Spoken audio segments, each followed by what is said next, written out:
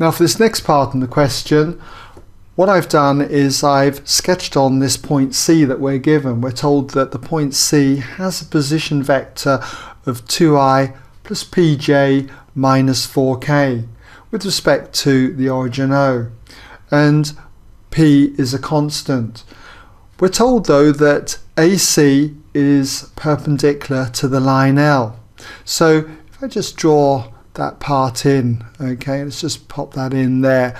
We're told that it makes a right angle perpendicular to L. And we've got to find out this value of P. So how are we going to do that? Well, what we need to remember is that if you do the scalar product or dot product between two vectors, if they're perpendicular, it will come to zero. So in other words, if you were to look at the vector, say, CA, dotted with the vector AB, then that would equal zero. Or you could even do the vector AC dotted with AB, or even BA, and it would still equal zero.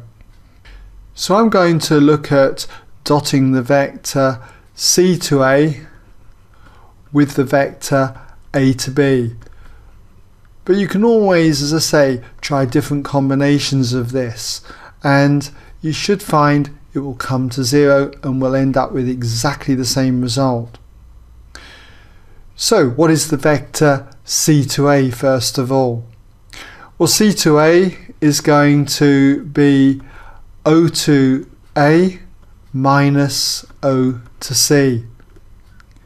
So we'll just put that in brackets and if we dot that with the vector A to B then that must be equal to 0. So O to A minus O to C, what's that going to be? Well if we start with the vector O to A 1 minus 3 2 and then we subtract this vector 2p minus 4 we're going to get 1 minus 2 which is going to be minus 1 and then you've got minus 3 minus p so that's minus 3 minus p.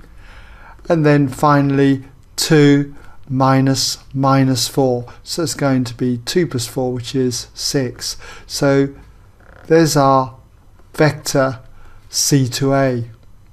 And we need to dot this now with the vector a to b which we have up here as minus 3 5 minus 3 and that equals 0. Now we dot these two vectors together and hopefully you're familiar with that.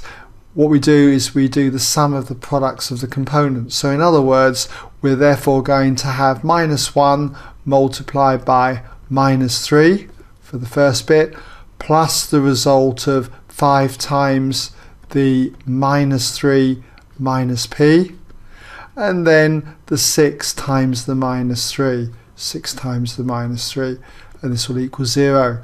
So if we work this out, we've got 3 here, expand the bracket, we've got minus 15 minus 5p, and here we've got minus 18 equals 0.